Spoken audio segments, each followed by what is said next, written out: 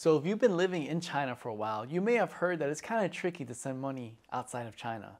Well, in this video, I'm going to show you three ways to send money outside of China without having to go to a bank branch coming up.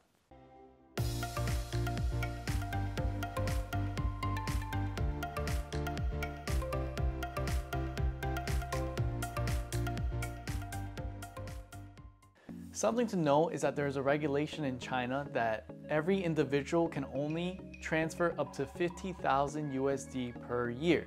So that's per individual, so if you want to transfer over that, then you need to seek another individual to help you out. But the methods I'm going to be teaching you are going to bypass this regulation. You can send as much money as you want overseas without the bank branch tracking it. The three methods I'm going to teach you are the following. PayPal, Swapsy, and having an external bank account outside of mainland China like Hong Kong, Taiwan, or Macau. So the first method I'm gonna go through is PayPal. When you use PayPal, essentially you need to create two different PayPal accounts. One PayPal will be like the international version that includes your home country's bank account. Then you need to make another PayPal account that's in China. So it'd be paypal.com slash cn. And it's a Chinese version of PayPal where you have to link it to either a Chinese credit card or Chinese bank account. So the fastest way I was able to send money from China using this method was to have my international PayPal request my Chinese PayPal a payment. So in, in an example I used, I requested 1,500 USD to my Chinese PayPal account and I used my Chinese PayPal account that is linked to my Chinese credit card and Chinese bank account to pay that 1,500 USD now note, at the end of the day, it took me about three to four days to actually finish this transaction and they charged me a whopping $60 for this kind of transaction. So it was kind of expensive. If you want to learn in greater detail on how to do this transaction step by step, I actually made a video about how to make PayPal accounts to transfer money overseas and you can refer to it in the link up here and I'll put it in the description down below as well. The second method is a third-party application that I just recently found out called Swapsy. You can go to their website called theswapsy.com and it is a peer-to-peer -peer platform where you can transfer money from China and outside of China. This was actually developed by a group of students that studied overseas in the United States from China and when they graduated from college and returned back to China, they had money left in their bank account that they wanted to get rid of in the US. So they used Swapsy to get paid in RMB. So how the process works is that if you want to change your RMB to USD, you pay somebody either using WeChat or Alipay the amount requested that they have the equivalent of USD on their bank account at home.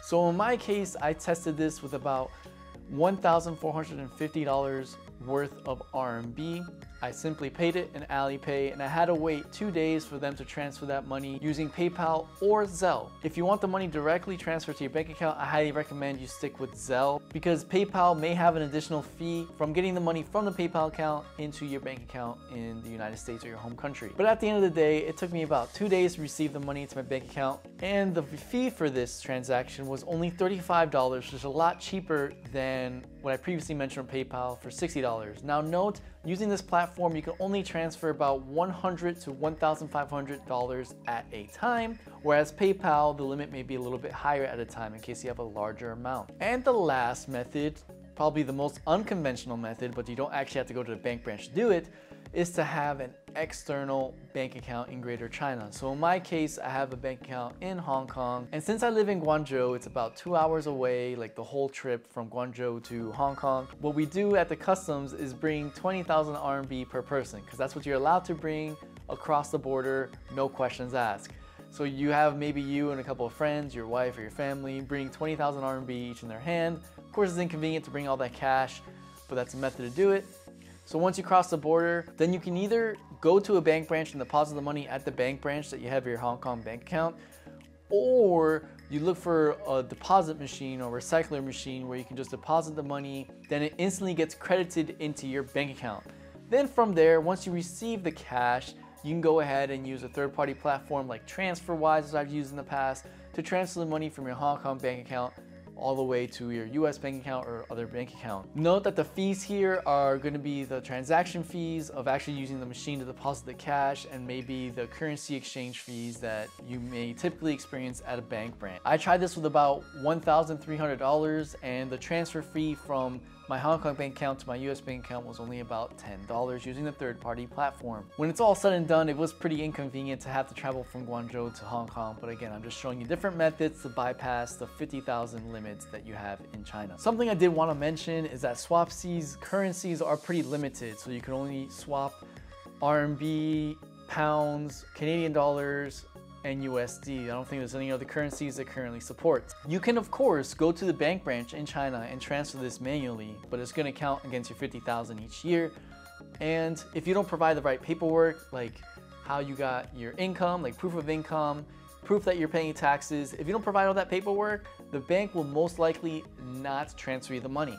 I've actually had some friends that wanted to transfer a large amount of money that was under the 50,000 USD and the bank made some arbitrary rules about having to bring extra paperwork and it made life difficult. So this kind of bypasses all that face-to-face -face interaction you need to have with the bank. If I learned any other ways to go ahead and transfer money without going to a bank branch in China, I'll definitely keep you updated. Let me know how your experience has been transferring money overseas. I know it can be different for each person. And if you know of a method that I have not covered, please let me know in the comments down below so I can dig deeper into it. Don't forget to like, comment, and subscribe to my my channel. Make sure you hit that bell notification as well to receive updates every week when I post on this channel about having a better lifestyle in China as a foreigner. Anyways, I hope you enjoyed this video. Keep surviving and I'll catch you in the next one.